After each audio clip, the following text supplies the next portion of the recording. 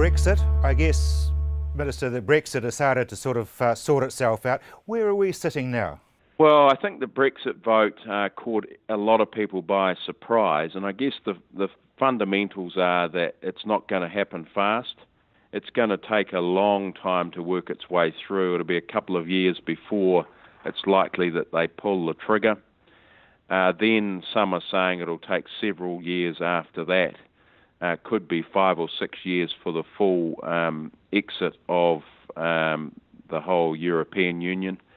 In the meantime, uh, all of our existing quotas and trading rights are still in place, and we've received assurances from the UK and EU ministers that our trading relationship will continue as it is uh, until that point in time when, of course, uh, the UK chooses to pull that um, exit clause. What I did shortly after the vote went through is I pulled in all the primary sector uh, leaders and chief executives. They met with Minister McClay in my office. We've set up a technical advisory group uh, so that government and industry are well aligned. Uh, we're also looking at a strategy and resourcing going forward.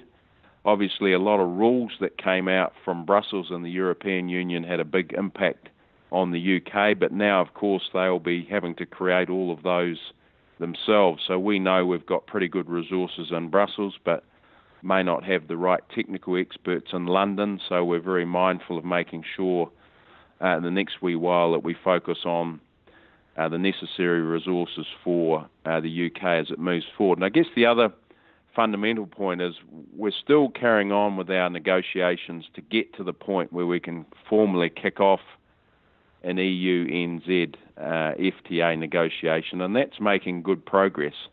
So hopefully next year we're in a position to uh, talk more about that.